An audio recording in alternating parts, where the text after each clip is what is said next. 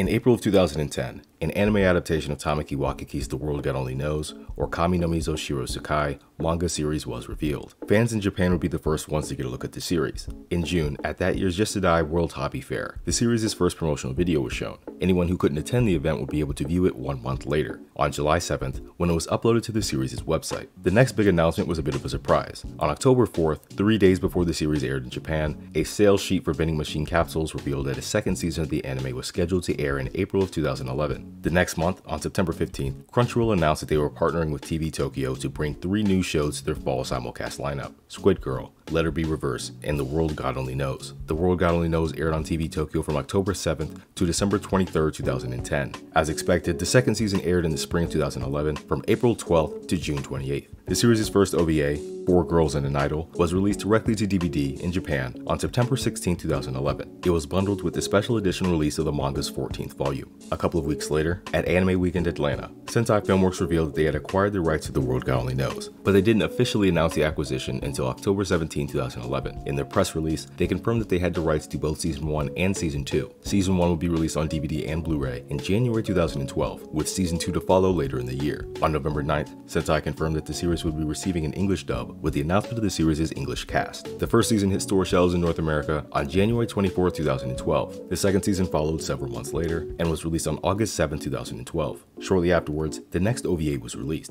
The first episode of the Tenri arc, Reunion, was bundled with the special edition release of the manga's 19th volume on October 18th. On December 7th, Manga News spotted something interesting. Shugaku Shogakukan's Weekly Shonen Sunday announced that a third season of The World God Only Knows was in the works. It also announced a new spin-off OVA based on Kanon. And just before the end of the year, the final episode of the Tenri arc, Encounter, was released. This OVA was bundled with the special edition release of the manga's 20th volume and hit store shelves on December 18, 2012. News died down until May of 2013, when the 24th issue of Weekly Shonen Sunday confirmed that the third season would adapt the manga's Goddesses arc. It also mentioned that the previously announced Kanon-focused OVA, now titled Magical Star Kanon 100%, would be bundled on DVD with the special edition release of the manga's 22nd volume. But fans who just wanted a copy on Blu-ray could pick it up on August 28th. The next month, at that year's Anime Expo, Crunchyroll announced that it would be adding The World God Only Knows Goddesses to its summer lineup. Shortly afterwards, the third season of the anime aired on TV Tokyo and ran on the network from July 9th to September 24, 2013. After the series finished airing, news dried up for an entire year, until, on November 17, 2014, Sentai Filmworks announced that they had licensed the anime's third season. In their press release, they stated that The World God Only Knows Goddesses will be available soon through select digital outlets, with a home video release to follow. The next day, they announced that it would hit store shelves on March 10, 2015. Sentai would follow that up by announcing the acquisition of the World God Only Knows OVA collection in January. This upcoming collection would contain all four of the series' OVAs and would be released on Blu-ray and DVD on May 5, 2015. Less than a month later, Sentai confirmed that the third season would also be receiving a dub, with the announcement of the official English cast on February 12th. The World God Only Knows Goddesses was released without any delays on March 10, 2015. It was followed by a smooth release of the OVA collection, which also came with Japanese and English voice acting, a couple of months later on May 5th, and this was the first time that the OVAs were officially available in the West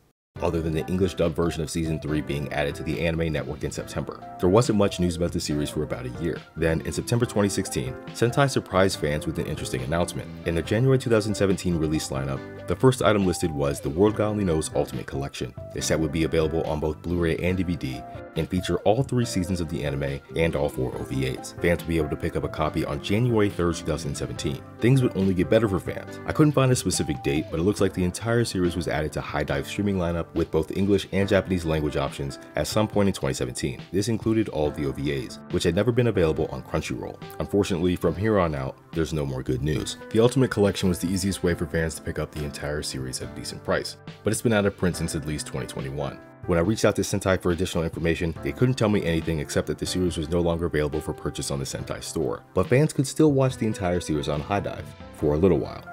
Things took a turn for the worse in early 2022, when the third season and the OVAs were removed from the platform. The rest of the series didn't stick around very long, and it was completely removed by the end of July. The one saving grace is that the series is still available on Crunchyroll, Mostly. As mentioned before, Crunchyroll has never streamed the series as OVAs, and you still won't find them there today. Also, Crunchyroll is only streaming the series in Japanese with English subtitles. So, as of December 2023, The World God Only Knows its English dub, and the entire collection of OVAs can no longer be streamed on official services.